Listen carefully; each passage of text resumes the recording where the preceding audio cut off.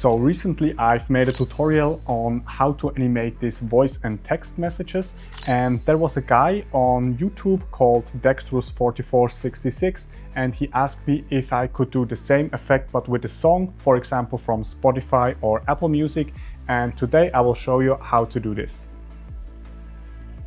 First you need a clip where you want to track this whole animation. So I've got here the first clip with normal lighting where I put on my headphones and then I've did the same thing but with a different set of lighting. I just thought it looks really cool and I just want to show you how I did this little match cut there.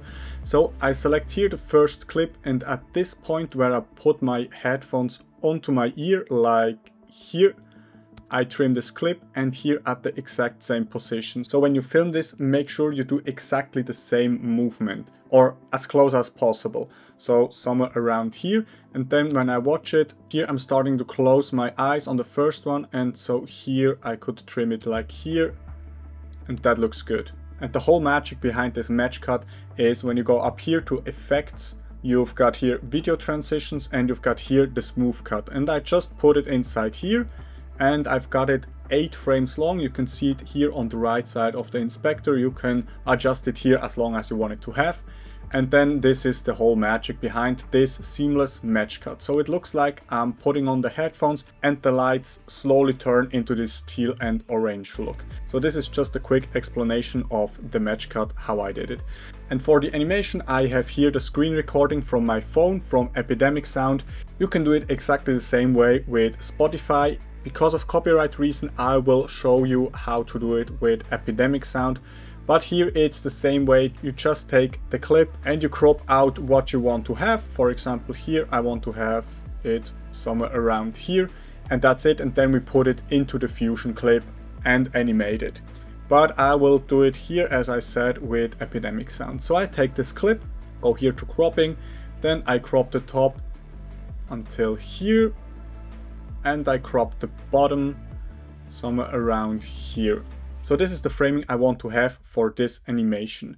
And if you stick to the end, I can show you an even crazier way how to animate this. Then make sure these two clips are color graded here and here because we did the match cut and the transition we create a new compound clip with them because when we don't do that in the Fusion page we will have two separate clips and we don't want to have that and then make sure here the music is aligned to, to your video. So here on the drop of the music, this is the position where I put on my headphones. So I make here a little marker, put it over here, and here I search the frame where I put it onto my ears. Here I have the light changing and this is where I want to have here the drop of the music. So I make sure here the screen recording and the compound clip is aligned to each other. So when I play it, I put it on and then the drop starts. Then make sure they are both the same length, then select both of them, create a new Fusion clip and we jump into Fusion. I won't go too much into detail in this tutorial, I've made another one that's very detailed for that. In this tutorial I want to show you the variations or what you can do or get more creative with only a screen recording and how to animate this. Your Fusion will look like this. Make sure you delete the merge and the background nodes. We don't need them. The media in one is here, your clip where you put on your headphones and you can see we have here the, the smooth cut, the transition perfectly inside. This is why we created this compound clip. Then connect it to the media out, make sure your media out is on the right viewer, so you have the overview what you are doing. And then the media in 2 is here the screen recording.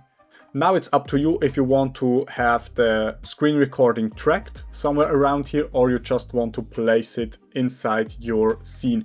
I would like to track it, so I select here the media in 1, hit shift and spacebar, type in tracker then I select a high contrast point to track this whole thing. This is a little bit complicated here because it's really dark, but I think we could try a point up here on the headphones.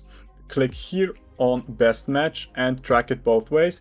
Keep an eye here on this window and we will see how the tracker does its job, but it looks very good. And from here on, it doesn't matter. So that works perfectly fine. Go to operation, match move. So when we plug our media into inside here, you can see it's tracked to our headphone. Then I select here the media in 2, hit shift and spacebar, type in DVE. And with the DVE node, I will position here the screen recording how I want it to have in my scene. So up here you can position the X and the Y axis and the Z move you can make it smaller or bigger and down here on rotation you can flip it around as you want it to have. And then for the animation at the beginning so it comes out of our headphone after the DVE node hit shift and spacebar and type in transform because we will do the animation here with a separate transform node so it's way easier for us to animate it. So I want to pop it up here at this frame. So I select the transform node and I make sure here the pivot point from the transform here this screen cross is here on my headphone. So when I make it smaller it goes into my headphone. This is very important. Then I set here on size a keyframe and reduce it to 0. Then I go 1, 2, 3, 4, 5, 6, 7, 8, 9, 10 frames further and I put it back to 1. So in these 10 frames, here the animation pops up like that. To make the animation way smoother and more engaging, go here to settings, enable motion blur, quality and shutter angle all the way up. Open up the splines up here, search for the transform node right here, enable it, click here on this little icon, zoom to fit, select everything with Command or Control A, press S to smoothen them. Now grab here this handle and put it over to around here. So it starts very fast and then it goes slow. So we have a very, very smooth animation like that. You can close the splines, we don't need them anymore. And to make it look a bit more realistic and like a hologram, select here the media in 2, hit shift and spacebar, type in Luma Keyer.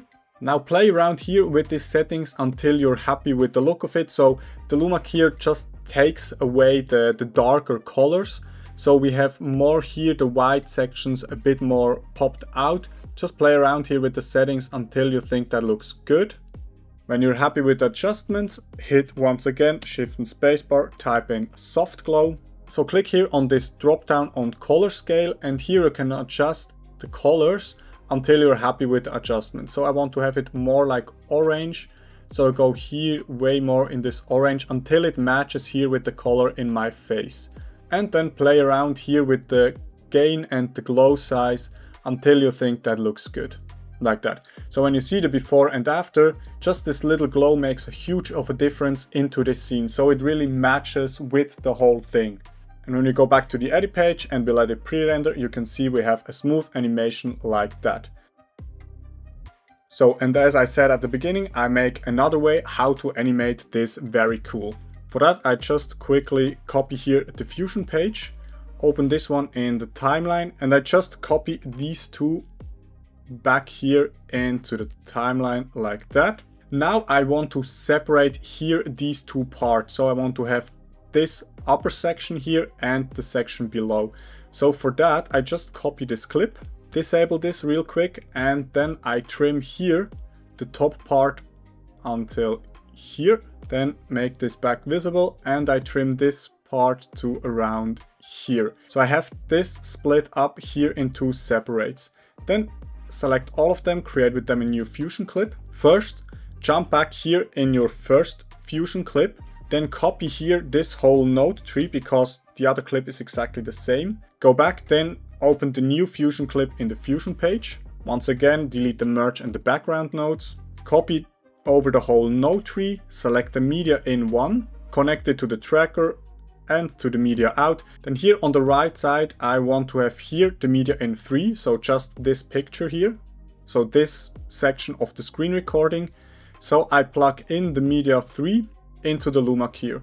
So we have our animation back, but only with the upper section here. So only with this part. Of course you can go in here and adjust the sliders if you're not happy here with adjustments, but I think this looks very good for now. So I will leave it exactly like that. And now what I want to do is here the waveform, I want to have it on the other side. So I put it over here, then copy the whole node tree here once again, so I don't need to track it one more time.